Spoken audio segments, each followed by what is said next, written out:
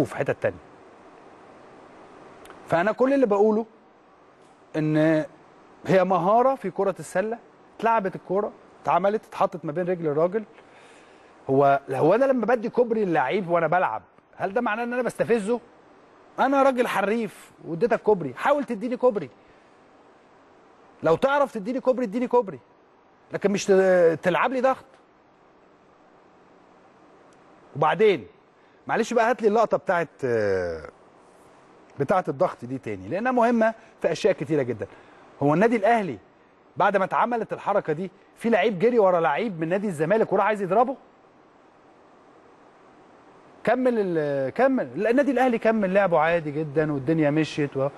بصوا لأن النادي الأهلي أكبر من الكلام ده واللعيبة بتلعب الكرة وعايز يكسب عايز حتى لو اتغلبنا في المباراة دي أنا ما أعرفش ما أعرفش النتيجة إيه.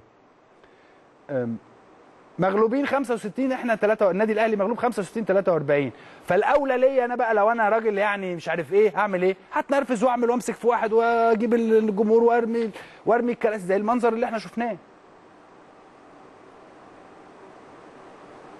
هل حد في في في نادي الزمالك طلع علق على الواقع على الواقعة دي؟